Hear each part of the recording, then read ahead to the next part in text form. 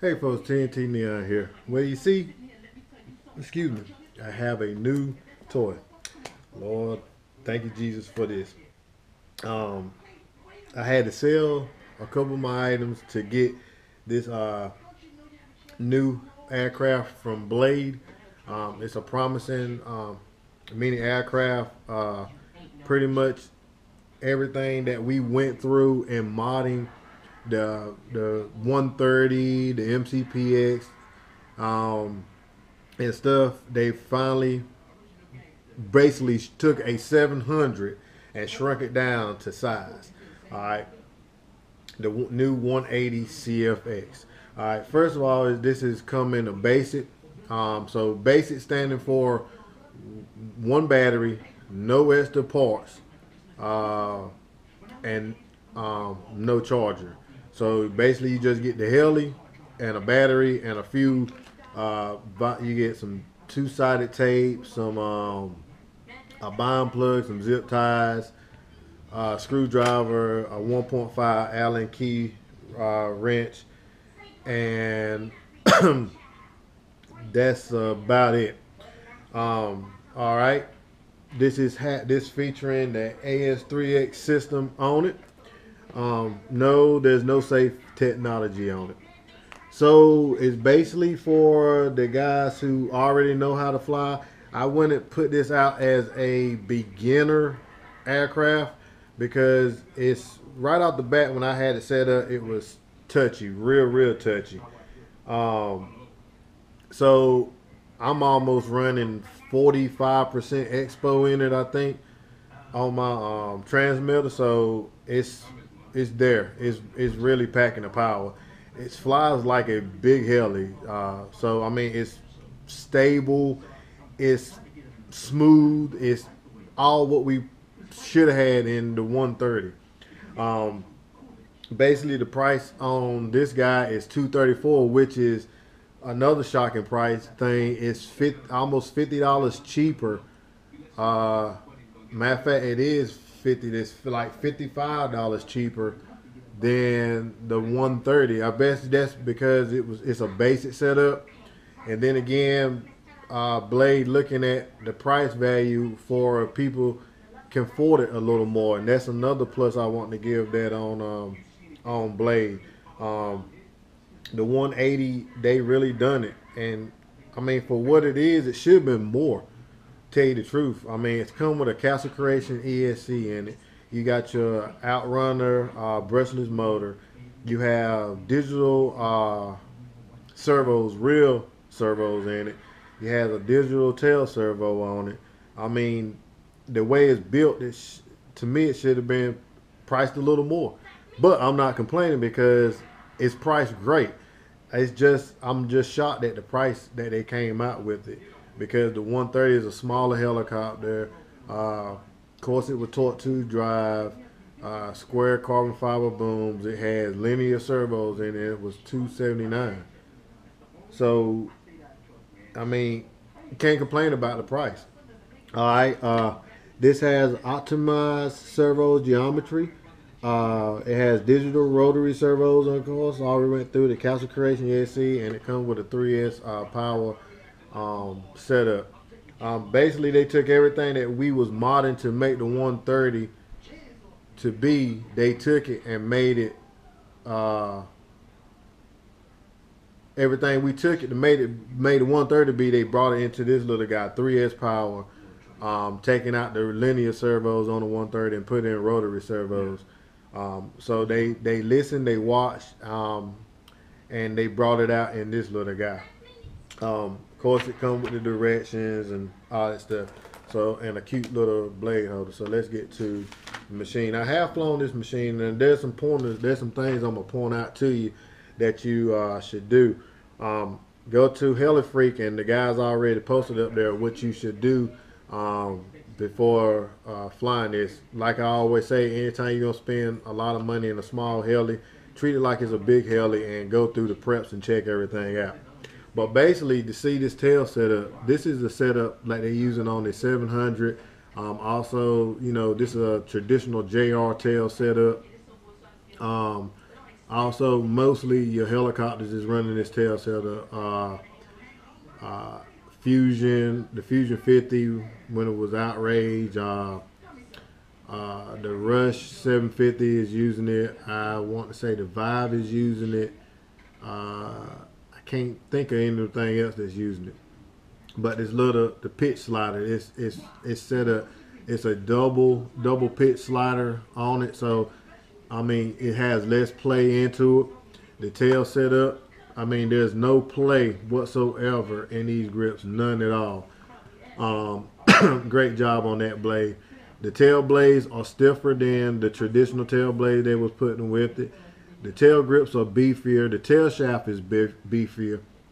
The gears in it is very impressive. The gears in it are almost like a mini Mod 1 gear. I mean, these are some tough looking gears. All right. The tail case is tremendously built well. Love the tail case. You have a, a tubular boom now of course, it's running a torque through through there. If I'm not mistaken, um, I think there's a third bearing in there. And before I say it is, let me make sure. Go through.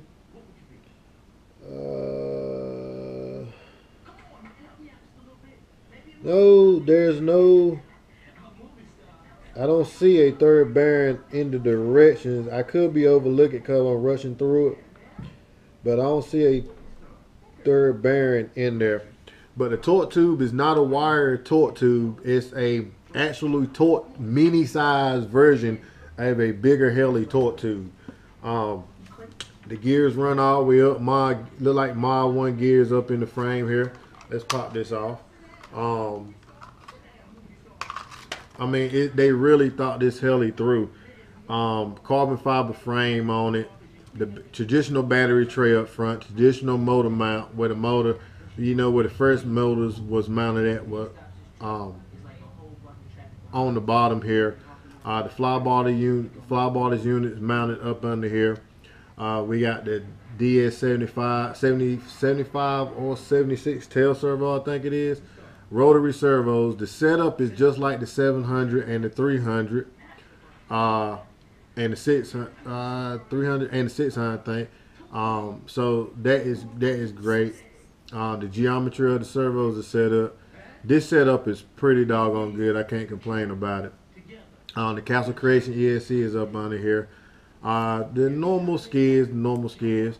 Um, let's see what else. You got a, a metal main shaft now. Um, the kit comes with three shims. And if you have play up and down, which I had play some play up and down, so I went ahead and put two shims here. So you unbolt the little Jesus bolt down here, and you get two shims and put two shims in there. Mine took two shims. Yours may take one. It may not take any. It may take three, but I put two shims in there, and it took the play out of it. Um, the gear, the main gear is massive. No, it's not an auto rotation gear. It's a standard uh, uh, standard uh, gear drive. Um, this is you know pretty great bird. All right. Um, there's another thing I had to do is to notch out this the right side of the canopy for a servo clearance. So I'm gonna put this back on and show you the servo clearance. I have flown it I just come in from flying before it got dark. I'll have video doing it tomorrow because it's a little cloudy outside, so it's hard to see. But if you notice, I notched the servo for the servo linkage out here because it will lean over and it look like it'll grab it. So we just notched that out, which is nothing to notch out on that. You know, tiny little mar, you know. But other than that, you know, this is this is a a real nice bird. Um, my settings in my 9503, um, they say here in the book, put the gyro, put on a gyro switch, but on the 9503s, rerun uh, our gyro setup in our travel adjustments on gear. So right now I got it sitting at uh, 75% on my travel adjustments in the gear on the gear channel in my 9503 and the tail is rock solid. I mean it stops on point. At first, there was a little tiny wag, but it's because I didn't have my tail servo. That's why I didn't have the gyro set up. I started out with 50, which you know that's just uh, normal setup. If you start out low, start out low, because um, if you start out too high, you don't want it like this and shaking itself to death. Um, so I started out low and went to uh, seven, 75%. So I'm satisfied with 75% right now. I'm like I said, I'm running like 45% expo and this little guy is touchy. Um, the head speed, they ask you to put it at 75% across the board. Um, 25, uh, 25% start low throttle zero, then go first, normal is going to be low zero, going to be 25, 75 in idle one and 100 in idle two. But I went a flat zero because I don't start my helicopters up with the stick. I started up with the switch. Um, and then for I went to 70% instead of 75% like a traditional um, Castle Creation ESC setup. I went to 70% instead of 75% and I went straight to uh, and then went to a flat 100 across. So I'm at zero on the bottom. So my stick is dead. Normal throttle stick is dead. Um, then I went 70%. Then I went a flat 70%. Then I went a 100%. Stunt one 70%, stunt two 100%, and it flies tremendously well on uh, both settings. Um, the tail, the tail rate is fast. This thing really got a fast tail on it now. Um, it has pyro compensation. That's what the uh, optimized servo. I mean, not optimized servo. That's why I meant to tell you the first time that the it has pyro compensation in it. Basically, uh, most of your flybarless unit come with base uh, pyro compensation, Icon, Beast X, um, V Bar. You know all the name brand um, flybarless units. The optimal uh, servo geometry is basically the same setup as the the 700 has. The Blade 700 has, where this is the optimal servo setup. How they have them setting like one is straight in on the uh, left side, then on the right side you got one pointing in an angle, and then on the elevator you got one pointing in an angle. So it's for better uh, mobility, movement of the servos. Pretty much what that set up on it. Um, but other than that, man, this is a great heli. I think Blade got it. I think they really got it. Um, so far, I only put two flights on it, and um, no issues. Every now and then, if I bring it in for uh, the landing, I can see the tail kick just a little bit, just a little bit, and I'm thinking that's just come from the the DS75. Uh, is it DS75 or 76? They known to do that. Um, so that's probably the first mod that come out is changing out this tail servo to maybe a uh, Align tail servo, you know, or a Savox servo. Um, only thing about that is that you are going to have to use either the adapter to change from a, a mini from a standard size plug to a mini plug, which that's going to add weight, or you just cut it and add it, and that's it should be able to handle it. I don't see why it couldn't. Um, by them both being digital servos.